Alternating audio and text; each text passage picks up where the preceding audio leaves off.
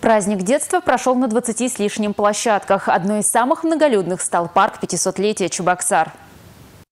Известных артистов, теле- и радиоведущих Первого канала, певцов и спортсменов ждали с нетерпением. Встретил гостей детский сводный хор «Чуваши». Тысячи голосов дирижировал народный артист России Марис Яклашкин.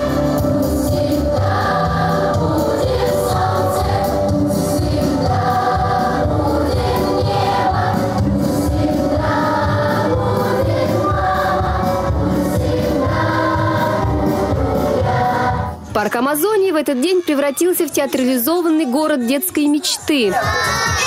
История древнего города в лицах, народные промыслы, мастер-классы. Этнопарк впервые показал будущее предназначение. Мы впитываем вот эту удивительную атмосферу, о которой не расскажешь. Ее надо чувствовать больше, как, как, как вы выезжаешь, знаете, на свежий воздух, на природу. И дышишь, дышишь, дышишь глубоко. Потом опять в Москву возвращаешься. О, и этим живешь долгое время. Спасибо вам. Такие все радостные, довольны на улице. Это прям здорово. Ходишь, смотришь. Особенно вот с конфетой понравилось. Дети там э, как э, в, в огромной конфете, много маленьких конфет, они стоят, загребают, это прям здорово. Да, весь город в празднике, ощущение, что здесь собрались все, и это клево. И получилось прям для детей, прям как надо.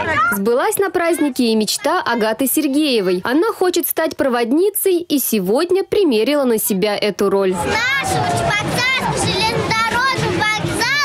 можно отправиться дружба.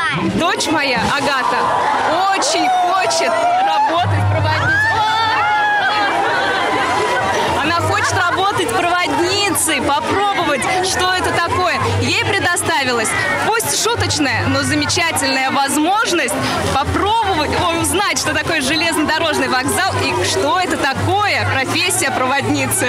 Мы сегодня тоже вместе с детьми погрузились в самое настоящее детство, потому что именно в городе детства мы растим самых талантливых, самых успешных и креативных детей. Подвели на праздники и итоги городского конкурса на лучший костюм Чебурашки. Победил Саша Магаськин. Костюм ему сшила мама всего за одну ночь. Вот мех, грудка и кармашек, который он достает апельсин.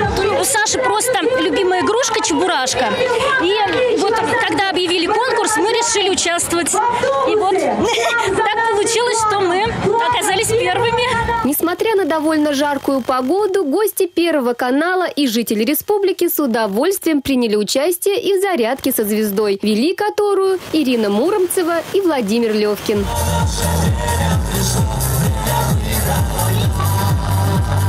Этот день надолго останется в памяти горожан, ведь многие смогли пообщаться со звездами Первого канала, сфотографироваться с ними и взять автограф. А, Встретились э, со всеми ведущими сотрудниками Первого канала, А, по- побывали на мастер-классах «Город детства», делали закладки с символикой 550 лет, запускали мыльные пузыри, получили море эмоций, даже рассказали стишки. Дорогой